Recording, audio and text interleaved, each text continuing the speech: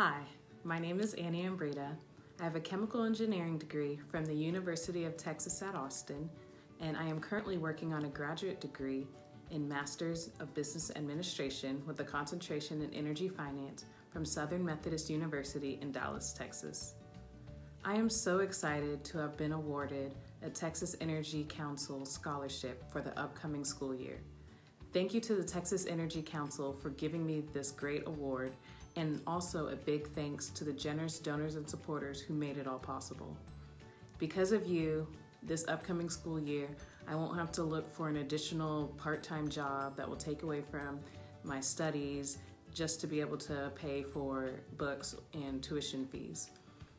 I'm so passionate about the energy industry. On campus, I'm involved in the Energy Club as an officer.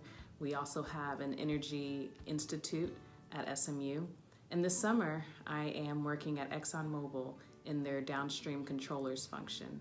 I'm so excited to be in the energy industry and to continue my education. Thank you once again, generous donors and supporters.